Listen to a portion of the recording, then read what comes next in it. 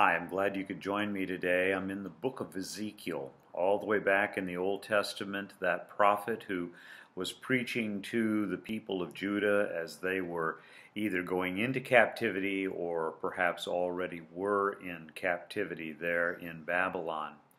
And in that particular passage in chapter 22, the, uh, the prophet brings out the number of sins that the people have committed that have led them into this captivity. He talks about their idolatry. He talks about their shedding of blood, their extortion. He talks about the injustices that these people had done for uh, to to others in their community. He speaks about the fact that that the widow and the orphan were were ignored. But then he at the very end of that passage, this is in verse 12, he says, and you've forgotten the Lord your God.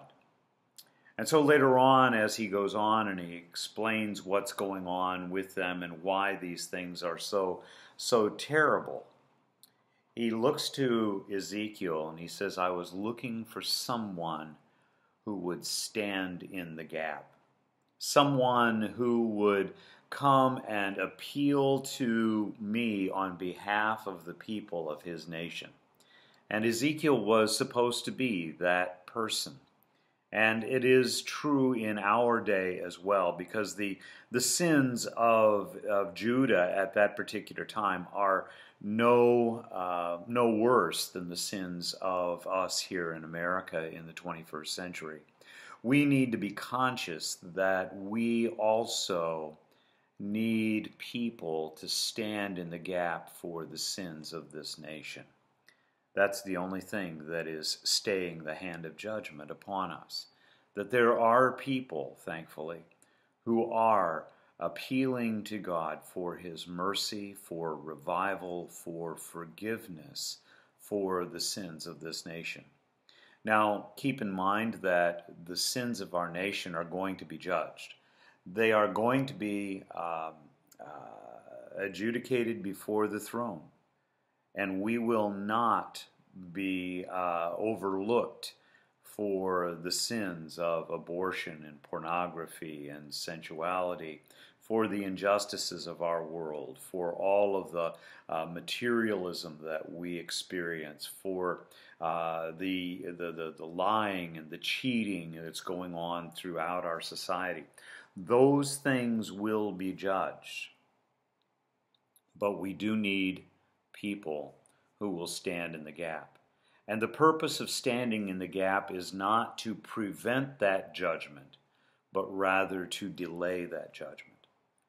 And, and that gives more time for people to truly repent and to be awakened to the fact that they themselves have been uh, guilty and they themselves are sinners in need of an atoning work which we know in this generation as the blood of Christ. So the question before Ezekiel was Will you stand in the gap? And will you be the one who will intercede for the people before the Lord Himself? Now, we on this side of the cross have an advocate with the Father, Jesus Christ the righteous, the New Testament tells us.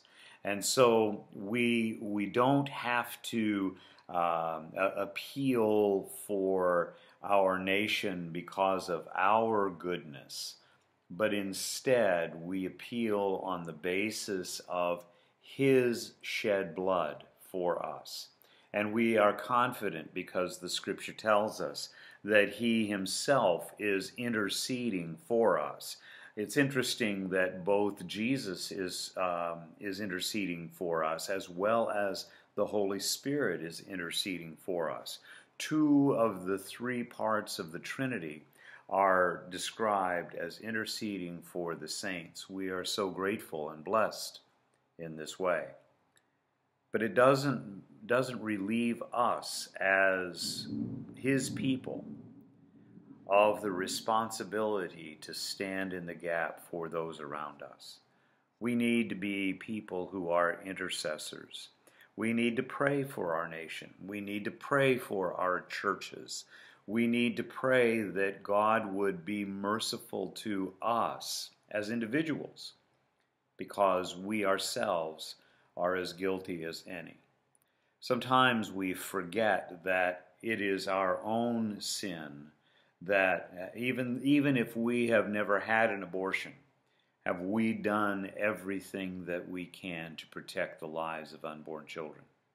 Even if we've never been involved in slavery or trafficking or anything of that, have we done everything that we can to help those who have?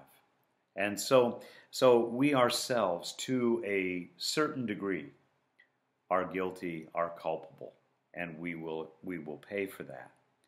But the good news is that there are people in this society, perhaps you're one of them, that is standing in the gap for the sins of this nation and for the sins of, uh, of people in this generation. And so I would urge you, take that very seriously. This is uh, an appeal that we stand for those around us and for the sins of those people.